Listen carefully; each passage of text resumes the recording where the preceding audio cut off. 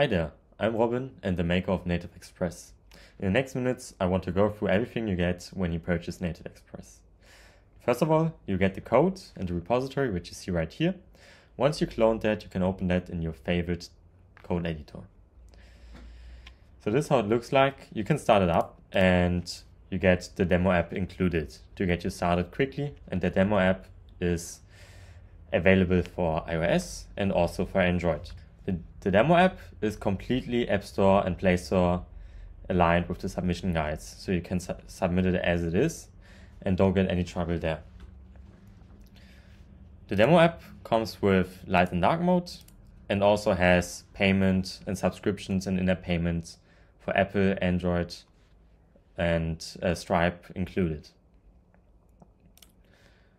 Besides that, we can go through the code for a minute. I tried to mimic the web developer experience you are used to with Next.js as closely as possible.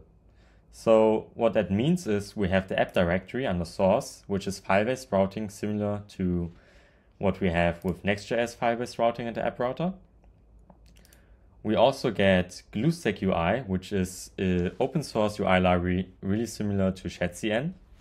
And we get Tailwind CSS to style the app, which comes with the Tailwind config as we know and we are used to and familiar with.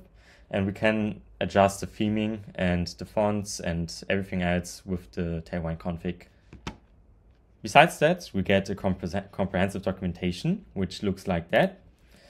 The documentation is openly available. You can go through it. Uh, it comes with everything, documentation on everything, regard, uh, including the tooling and the general setup for your development environment.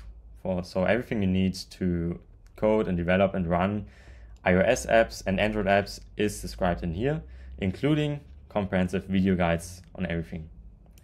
Besides that, we have also documentation on all the features, which are payment using RevenueCat. RevenueCat is then connected with Apple Payment and Google Payment, as well as Stripe. Furthermore, we have monitoring using Sentry, so this is really helpful to um, handle errors and, and crashes of the app. We get analytics using PostHog, so this is regarding user experience and user analytics, improving the features. And we get, of course, push notifications using OneSignal.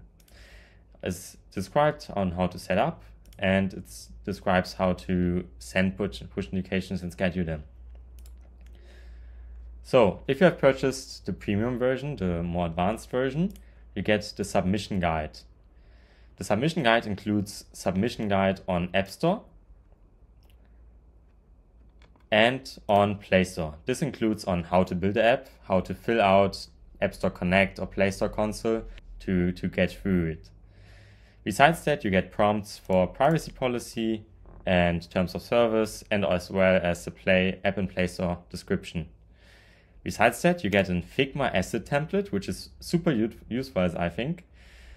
So any feature screenshots, um, any banners for Android in the right sizes you need, you can just drag and drop them in here on the canvas and then you can adjust the layout to be, for example, text focused or be with description. You can adjust the background to maybe be monocolor or have like this fade or for example be white and you can adjust the text and the fonts and everything. So yeah, that's basically it. Um, everything I know, like from building startups in the last seven years and from building apps in the last two years, and especially transition from web developer to mobile developer, is packed into Native Express in documentations, in the guides, and in the code.